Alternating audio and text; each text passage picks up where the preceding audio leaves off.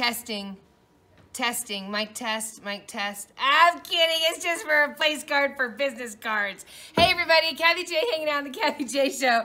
Next week on The Kathie J Show, please, please join us because I got amazing guests coming in to hang out with you. First off, ladies, Dress for Success is going to be here. So if you're looking for outfits to help you get your career changing or if you are emptying out the closet for spring cleaning, Dress for Success is going to be here. I also got Terry. Oh my God.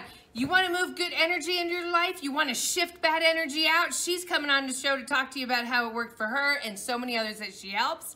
And of course, Jamie, her stilettos have steel toes. That's what this woman says. So she is coming to talk about empowerment for women and how you can take control of your life. You get it? We're doing a lot for women because, come on, Kathie's a woman and the show's about hanging out with women. So also, don't worry, because I got the strongest man in Colorado coming on Thursday, everybody. Adam's gonna be here, the strong man, and he's gonna be on ESPN representing for the state of Colorado. We got that, and of course, we're going to hang out with some lawyers at Ramos Law. Those people, I tell you what, the best people up there. I'm digging it. All that and more next week on the Kathie J Show. I'll see you next week.